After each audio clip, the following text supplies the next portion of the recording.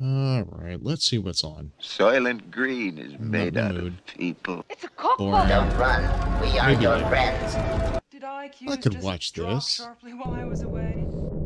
D- damn satellite! What the hell's going? Ah! What do you want, Pratt? I was trying to watch something.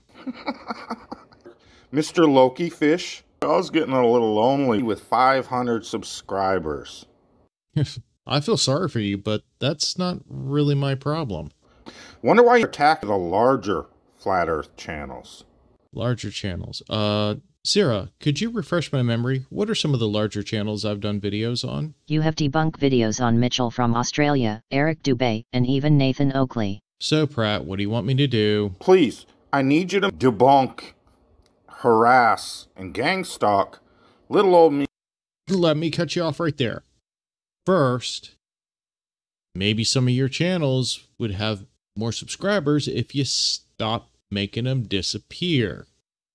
Second, you obviously can't count because I have a quarter of the subs you do. But hold on. Uh bad signal. Talk to you later. Say bye to the wife. I mean water heater. Uh, oh well. Man, thank God that's over with. Hey, look, folks, we have a very special guest.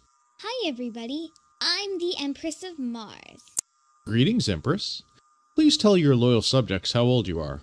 I'm eight years old and in the second grade. Uh, I'm sorry about the call, Empress. Pratt thinks I was being unfair. Uh, something about his tiny little channel or something? Look, I know how to count. It's not hard. Maybe they never went to school. You may have a point, but please don't let me keep you from more important matters. Bye, everybody. Don't forget to smash that like button, share, comment, and subscribe. Well, thank you for the bump, Empress. And Loki Fish, next time you take a prat, please turn on the fan. Yes, Empress. Now, what was I doing before Pratt called? Oh, yeah, finding something worth watching. Well, until next time, if the Earth were flat, cats would have pushed everything off by now. See you all on the shills.